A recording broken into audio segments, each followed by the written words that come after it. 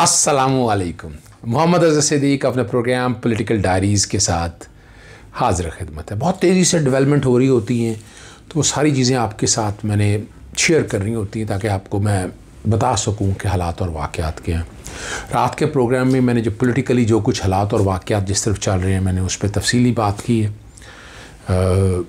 अभी के प्रोग्राम में आज आठ फरवरी 2022 बरोज़ मंगल, सुबह सात बजे आप प्रोग्राम पॉलिटिकल डायरीज़ देख रहे हैं।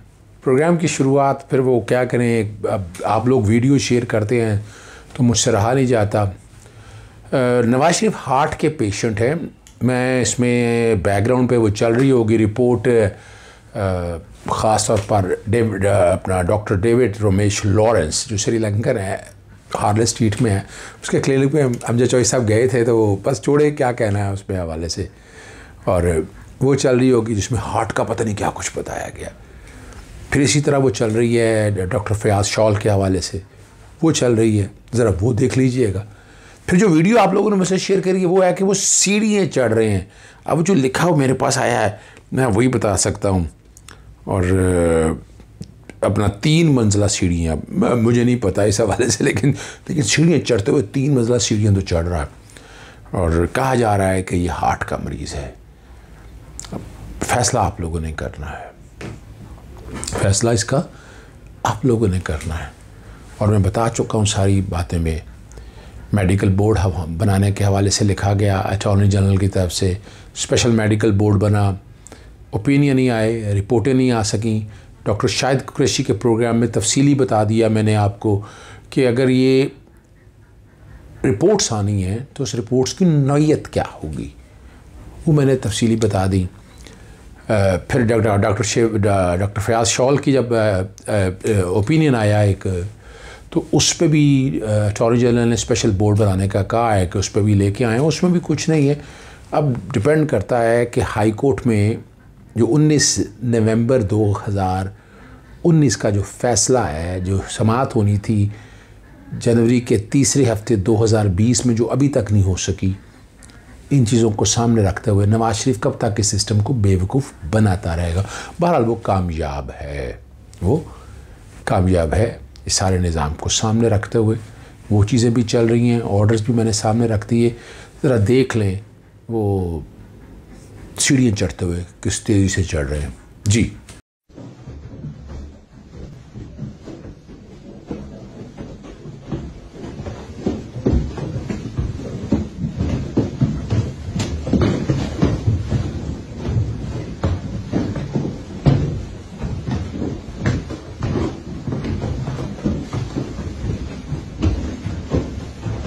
जी, आपने नवाज़ शरीफ की वो सारी सीढ़ियाँ चढ़ते हुए देख लिया आपने।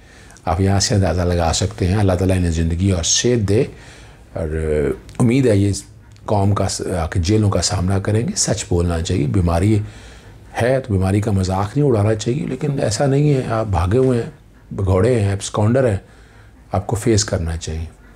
प्रोग्राम के आखिरी हिस्से की तरफ़ मैं ज़्यादा बातें नहीं करना चाहता, चूँकि मैंने तफसीली गुफ्तु की है, बड़े सख्त सवाल थे मलिया हाशमी के उसके प्रोग्राम के अंदर। और मुख्तलिफ़ मल्टीपल इशूज़ हैं। इमरान खान का चाइना के हवाले से विज़िट है, कश्मीर इशू के ऊपर है, और उस्मान बुजदार का रोल क्या है, अठारहवीं तरमीम के बाद क्या हालात हैं, वो सारा इकट्ठा ही सुन लीजिए, सुनिएगा। शर्म से डूब बनने का मुकाम है। जितना कश्मीर की आवाज़ पाकिस्तान की इस वक्त उठाई गई है इंटरनेशनल फोरम के ऊपर, इमरान खान ने दो काम इस्लामोफोबिया के हवाले से और कश्मीर की आवाज़ के हवाले से जितनी ज़बरदस्त एडवोकेसी की है ना वन मस्ट एडमिट आदमी माने इस बात को, हम क्यों लगे हुए अपनी दुकानदारी चमकाने के लिए? इन्हें अंदाज़ा नहीं है इसका नुकसान पाकिस्तान को होता है। ये अभी भी अगर इमरान खान अगर चाइना में गए हुए हैं तो चाइना में वो as a prime minister of Pakistan गए हैं। प्रेसिडेंट ऑफ़ पीटीआई के तौर पर नहीं गए फॉर गॉड सेक और इनका सोशल मीडिया अगर उठाकर देख ले, क्या लग रहा है जी? जनाब, वो स्टेडियम में अकेले बैठे हुए थे। अच्छा वो तस्वीरें सारी पूरी दुनिया के जो सरबराह है उनकी सारी दिखा दी। अच्छा जी, वो बकायदा जी अपना जो चाइनीज़ प्रेसिडेंट है, वो इमरान खान से नहीं मिले। आप शर्म आनी चाहिए, डूबने का मकाम है। बात है कि prime prime minister of Pakistan ये है चाइना के अंदर, और चाइना के साथ स्ट्रेटेजिक इशू जो हमें जो समझने वाली बात है, कि पाकिस्तान ने बहुत देर की है। इनकी जो पॉलिसी थी कि नरेंद्र मोदी के करीब आगे, आमों की पेटियाँ आगे जितना नुकसान पाकिस्तान को, इंडियन के करीब आगे हुआ आज तक कभी नहीं हुआ। और इंडिया प्रॉक्सी वार अफ़गानिस्तान के अंदर बैठकर लड़ता रहा है। अमेरिका के साथ मिलकर और इस वक्त जो चाइना ने जिस तरह मामला को लेकर चला और पाकिस्तान जिस तेज़ी के साथ, इस ब्लॉक में अमर्ज हो गया यार, पाकिस्तान की अहमियत है। पाकिस्तान में जो इकोनॉमिक तरक्की हो रही है सीपैक की वजह से। आप अमेरिकन अगर अगर हम कंपैरिजन करके देखें, अमेरिकन ने क्या किया, इंडिया ने बैठकर पाकिस्तान को कितना नुकसान पहुँचाया प्रॉक्सी वार में फंसाई रखा ये पूछे तो सही आतंक तक। इनकी कोई एक पॉलिसी बता दें कि जिस पॉलिसी की वजह से पाकिस्तान इंटरनेशनल यानी फॉरेन पॉलिसी की बात करते हैं, जरा यानी मैं बैठ के ढूंढ रहा था, मुझे तो एक भी काम ऐसा नहीं नज़र आया कि इनके दौर के अंदर पाकिस्तान की फॉरेन पॉलिसी के अंदर पाकिस्तान को बहुत बड़ी कामयाबी हासिल की हो। हर हमने, हर एक ने देख लिया कि पाकिस्तान ऐसी जगह पर फंसाई रखा है, इन्होंने चूँकि इनके अपने इकोनॉमिक इंटरेस्ट है, इन्हें पाकिस्तान से कंसर्न नहीं होता था। ये बड़े बड़े प्रोजेक्ट लेके जब चाइना के हवाले से बात कर रहे थे। चाइना के प्रोजेक्ट में शुरू में इन लोगों ने किए, मुझे पता है उसके अंदर करप्शन के ज़रिए मैं शोर नहीं डालता इस बात मेट्रो ऑरेंज प्रोजेक्ट एक ऐसा प्रोजेक्ट था जिसमें कम नहीं पचास अरब के करीब गाड़ी लगाएगी। और प्रोजेक्ट इतना महँगा प्रोजेक्ट था, आप सोच नहीं सकते हैं कि उनके मसाइल क्या हो सकते हैं। तो ये तो निसार चीमा साहब या बाकी यानी इनकी पोलिटिकल लीडरशिप को कम अज कम जब जब आप नेशनल चैनल पे बैठे हो तो इनको ट्रेनिंग देनी है। अगर मिसाल के तौर पर कि पाकिस्तान ने जितने आसन तरीके से इमरान खान है या मौजूदा गवर्नमेंट ने जिसको पेश किया है, उनको मानने आगे आप जो मर्ज़ी करते चलें। जाती लड़ाइयाँ लड़ते रहे आप पाकिस्तान के अंदर हम्म। रोटी कपड़ा मकान की। लेकिन इंटरनेशनल ऐसे मसाइल के अंदर इस तरह की गुफ्तगु करना ना मैं यानी मेरा सर शर्म से झुकता है। मलिहा एक बात तो याद रखिएगा कि कल की जो मुलाकात हुई है उस मुलाकात ने जो पीटीआई के वोटर्स और खासतौर पर जो साइलेंट वोटर था ना जो साइलेंट आदमी था उसमें जान डाल दी है कि इमरान खान के अगेंस्ट सारी सियासी जमातें फिर इकट्ठी हो रही हैं। तो ये पॉजिटिव साइन इस हवाले से है कि जो साइलेंट वोटर था ना, वो जो जो इमरान से दूर हो रहा था ना, इस मौके की वजह से मैं समझता हूँ बड़ा वाजे तौर पर वो सामने आ गया। दूसरी बात और एक याद रखिएगा इमरान खान साहब को अब अपनी पॉलिटिकल स्ट्रेटजी बदलनी पड़ेगी। बदलनी इस तरह पड़ेगी। देखिए, जब आप इलेक्शन में आते हैं, जब आप इलेक्शन लड़ने के हवाले से आते हैं तो आपको कई नाजायज नाजायज काम छोटे मोटे इलाके के करने पड़ते हैं। इमरान खान साहब चौके असूलों की सियासत करते रहे और नीचे उन्होंने अपनी पार्टी के हवाले से इन तरफ़ तवज्जो नहीं दी है। आपको अगर इलेक्शन जीतने हैं, भाई, मैं नाजायज कामों की बात नहीं कर रहा। पर्चा दर्ज होना, किसी की मुलाजमत के हवाले से, ये छोटे छोटे जो मसाइल हैं, जो भाई इलेक्शन में तवज्जो नहीं कर सके। और दूसरी बात है कि आपकी ब्यूरोक्रेसी आपके साथ ये सोचना पड़ेगा। हमेशा पीटीआई या पाकिस्तान पीपल्स पार्टी अपनी मर्ज़ी की ब्यूरोक्रेसी लगाती है इलेक्शन लड़ने के बाद। अगर इन्होंने थोड़ा बहुत कोशिश भी की है, वो उसमें भी कामयाब नहीं हो सके। ये इलेक्शन की स्ट्रेटेजी है और पाकिस्तान पीपल्स पार्टी इस पर वर्किंग इस कॉन्टेक्ट में करती आई है और वो कोशिशें करती रहेगी। लेकिन मैं मैं आपको वैसे बता दूँ कि बल्दियाती इलेक्शन का जनरल इलेक्शन पे कोई बंदा चाहता है कि उस तरह असर पड़ सके, वो नहीं हो सका, क्योंकि इलाकाई सियासत के ऊपर होते हैं। लोग लोग जो आसपास रह रहे होते हैं छोटे छोटे लोग उनके छोटे छोटे मसाइल होते हैं तो उसमें जो पुरानी पार्टियों की जड़ें मज़बूत हैं और जायज़ ना जायज़ तरीके से उन लोगों को वो इस्तेमाल करते हैं। यहाँ इमरान खान को इस हवाले से ये चेंज करना पड़ेगा। और तीसरी जो बात जो बड़ी अहम बात है कि जो महँगाई का कॉन्सेप्ट है या महँगाई के हवाले से ये इनको बार बार कराना पड़ेगा। इमरान खान साहब पंजाब की गवर्नमेंट को बचाते हुए सारा कुछ अपने ऊपर ले जाते हैं। महँगाई और ये सारे सूबे अठारहवीं तरमीम के बाद ये सारे सब्जेक्ट सुबह ही हैं। लॉ एंड ऑर्डर सुबह ही है। यानी मरी के अंदर जो हादसा हुआ, जो थाना हुआ, वो इमरान खान तो वजह नहीं थी। इमरान खान साहब अपने उनके पंजाब गवर्नमेंट के अंदर, पंजाब की ब्यूरोक्रेसी या पंजाब के लोगों की वजह से ये हालात और वाकत देखने पड़े। ये बैठ के ये तय करना पड़ेगा और ये सूबों में आप आप डालें और डालें क्या आईनी तौर पर वैसे भी अगर देखें तो ये सूबों की ज़िम्मेदारी है। हमने बिला वजह यहाँ पे बात तो ये है ना कि फिर पंजाब की इसलिए भी इमरान खान साहब को इनेविटेबली खुद ज़िम्मेदारी सारी अपने कंधों पर यूँ लेनी पड़ती है और लोग भी फिर उनके अपने वोटर्स भी उनके कंधों पर इसलिए ज़िम्मेदारी आयद कर देते हैं कि बुजदार साहब का इंतखब होली सोली इमरान खान की अपनी मर्ज़ी से हुआ।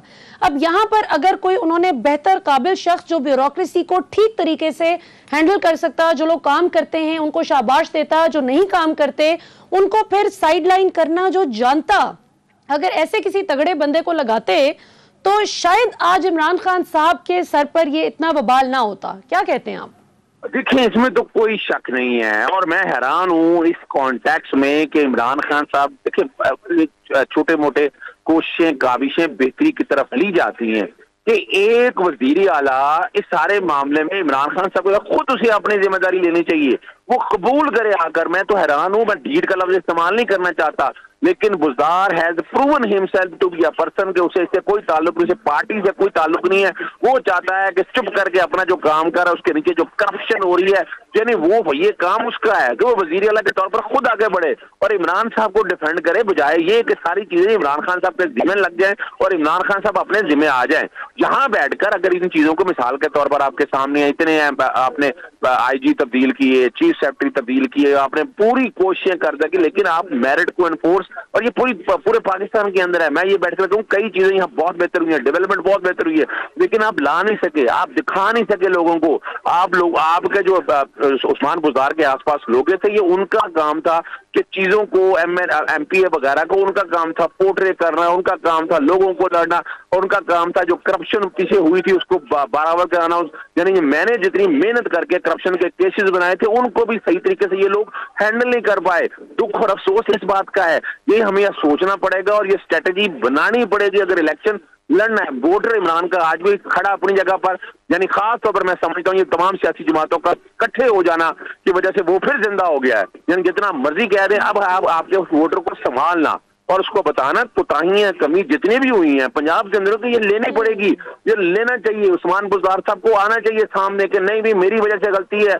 इमरान खान साहब को मत कसूरवार ठहराएँ। मैं कोशिश कर रहा हूँ मैं नाकाम हो गया कि मैं नहीं कर सका। मैं ब्यूरोक्रेसी के सामने और दूसरा देखे ना एक आदमी जो मीडिया को भी फेस नहीं कर पाता उस्मान बुजदार तो वो क्या हैंडल कर पाएगा? ये अब ये मौका भाग चुका है। उस्मान बुजदार ने जितना एंजॉय कर रहा था कर लिया। उसे अब निकलना पड़ेगा सड़कों पर निकलना पड़ेगा। ये नहीं सिर्फ़ एक दिन बैठ के गाड़ी में बैठ के बता दे कि जनाब मैं आम आदमी की तरह सफ़र कर रहा हूँ। नहीं this policy has to be change अगर ये पॉलिसी तब्दील नहीं होगी तो उसके लिए मसाइल इमरान खान साहब के लिए पीटीआई के आम पे सोचना पड़ेगा। बिल्कुल ठीक है अजहर सिद्दीक साहब आपका पॉइंट आ गया। बिल्कुल मैं आपकी बात से फ़ीसद इस हवाले से मुतफिक हूँ कि जिसको जो ज़िम्मेदारी दी जाती है वो पूरी तरह से उस ज़िम्मेदारी को निभाए और उसकी सक्सेस को भी क्लेम करे उसके फेलियर को भी एक्सेप्ट करे। लेकिन अगेन बात तो वही आती है कि इमरान खान साहब ने चूँकि इतना कॉन्फिडेंटली इनको वसीम अक्रम प्लस का टाइटल देकर इनकी पूरी ज़िम्मेदारी, इनके इंतखाब की ज़िम्मेदारी से लेकर इवन इनकी कारकर्दगी तक की ज़िम्मेदारी जब अपने कंधों पर लेते हैं, बावजूद इसके कि उनके वेल विशर्स उनको बताते हैं कि ये ना कीजिए, ये वो वसीम अक्रम प्लस उस तरह के नहीं है जो आप सोच रहे हैं। लेकिन उनको लगता है कि जैसे क्रिकेट के मैदान में वो किसी पर कॉन्फिडेंस के साथ एतमाद करके उनको उतारते थे मैदान में तो वो कुछ ना कुछ खुद को प्रूव करके आते थे, ये भी कुछ कर दिखाएँगे।